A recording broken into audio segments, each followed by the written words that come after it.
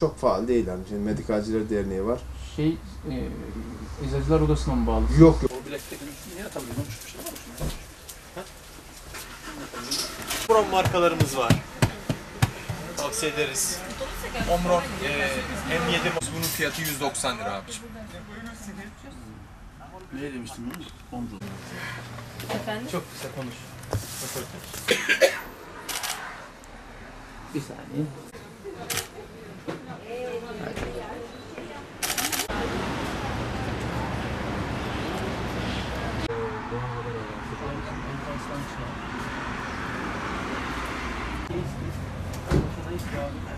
şey yapın. Ya tamam olur. Hiç maske yok.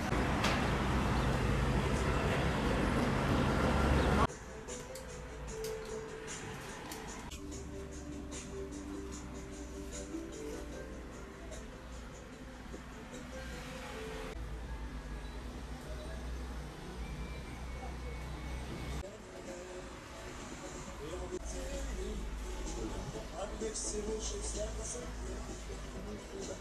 Şey yaptım.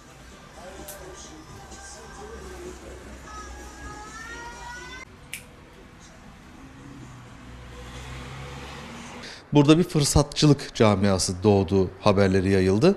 E, bu haberde eczacının rolü yok. Neden? E, bizim zaten eczanelerimizde bulunan ürünlerdi. Maskelerimizi de hastalarımıza temin edip veriyorduk. E, el dezenfektanlarımızı da temin edip veriyorduk.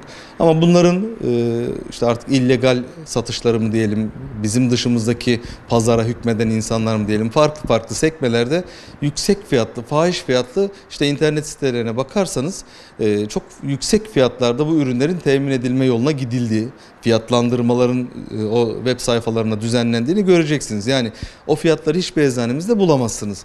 Denetimi bizim üzerimizden yapılması ne? Şu an bence çok anlamsız. İşte depolarımıza bunlar e, gidilip soruldu. Eczanelere hangi fiyattan gönderiliyor. Onlar hangi fiyattan satılıyor? Bizler zaten denetimleri açık kuruluşlarız. En az yılda iki defa Sağlık Bakanlığı'nca denetlenme zorunluluğu var eczanelerin. Bu süreç içerisinde de tüm verilerini, tüm işleyişlerini belgelemek, bilgilendirmek ve denetmene karşı eksiksiz hizmet sunmak e, mükellefiyetlerimiz var. Bunları yerine getiriyoruz. Ha bu pazarda başka sektörlerde araştırılması gereken bir konu. Bence e, üzerine eğililmesi gereken bir web satışı var, internet satışı. E, lütfen ilgili kurumlarımız buraya özen göstersin. Bunların temin fiyatlarını öğrensin. Bunların e, sevk ettiği noktaları öğrensin. Çünkü bunlar mali veriler. Saklanmaz. İlgili bakanlık bunu istediğinde ibraz etmek durumundalar, iletmek durumundalar. Yani bu her sorunun altında eczacıyı aramanın hiçbir anlamı yok.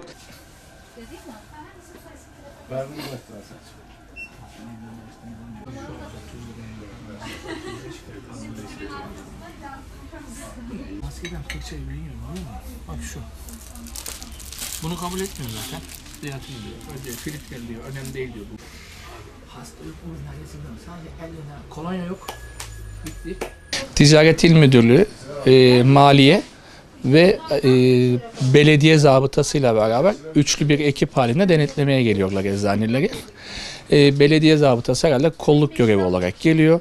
Özellikle bu Ticaret İl Müdürlüğü'nün temsilcisinin gelme nedeni bize beyan ettikleri düşünceleri eczanedeki maske stokları, maske problemleri ve basına yansıyan e, maske yokluğuyla alakalı bir tespit için geldiler. Bu tespitte elimizde hangi çeşit maske olup olmadığını, nereden nasıl temin ettiğimizi ve güncel satış fiyatları üzerinden bir denetleme gerçekleştirdiler. E, elimizde artık onların baktığı 3M maske denen ya da şu an özellikli spesifik maske türlerinden zaten bizler bulamıyoruz. Bu süreç başladı başlayalı işte birkaç aydan beri stoklar neredeyse yok. Tamamen e, yurt dışına veya başka yerlere gittiği için iç piyasada bunları zaten biz bulamıyorduk. Elimizde bulunan e, basit usul eski tip e, birkaç çeşit maskeler Tabi bunlar da spesifik koruma özelliği olmayan maskeler. Bunlarla alakalı tespit tutanakları nedir ne değildir diyerekten görüş alışverişi ve tutanak tutup ayrıldılar. Bunlar da bakanlık nezdinde raporlanıyormuş. Hani bulunmama nedeni üretici kaynaklı mı yoksa aracılar kaynaklı mı son kullanıcıya ulaştığı eczane medikal kaynaklı mı bunlarla alakalı bakanlığın bir çalışması neticesinde ziyaret ettiler. Yapılan denetlemenin eczane babında yapılmasını ben kabul etmiyorum. Çünkü biz üretmiyoruz. Biz sadece aracıyız. Üreten kurumların, üretici firmaların desteklenmesi, onların incelenmesi, fiyat politikaların onların üzerinden bakılması lazım. Biz sadece burada son kullanıcıya veren bir aracıyız. İlk sordukları şey fiyat oldu. Yani kaç adet olduğu soruldu. Stokta var mı yok mu? Fatura girişi var mı yok mu? Bu soruldu. E, faturası satış varsa ona göre tutanak tutuluyor zaten. Bence eczaneden ziyade üretici firmalarına bakmaları gerekiyor. Çünkü şu an zaten eczanelerde yok. Yani maske yok ve biz e, üretici firmadan alıyoruz. Aldığımız fiyata satıyoruz gibi oluyor. Çünkü zaten çok pahalıya. Yani normalde 10 lira 20 lira olan tek bir kutu maske şu anda 150 liradan aşağıya değil. Ya ben sorduğumda bana 150 liraya geliyor. Hani benim zaten öyle bir ürünü satma şansım yok işin doğrusu. Dezenfektan e, ilacımız var mı acaba? Abicim kalmadı dezenfektan. Dünden beri bakanlığın açıklamasından sonra insanlar ne varsa yağmaladı. Şu an elimizde yok. Üreticiden temin edemiyoruz. Sadece şu küçük ambalajlardan var. Çanta tipi. O da işte elimizde sınırlı sayıda 10-15 tane kaldı. Litreliklerden temin edemiyoruz abicim. Sizinle beraber yaklaşık 8-10 tane eczane oldu. Her yerde yok. Neden acaba? Üreticiyi sorgulamak lazım ama biz eczane son noktayız. Üreticiden gelmezse biz de vatandaşa temin edemiyoruz abicim. E şimdi gittiğim eczanelerde rakamlar 50, 55, 60. Bunun niye böyle olduğunu bir türlü anlam veremiyorum. Yani buna devletin bir e, el koyması lazım diye düşünüyorum. Yani gerçekten fiyatlar çok yükseldi. Yani nasıl olacak, nasıl yapacağız? Vatandaş olarak biz de bir çare bulamıyoruz.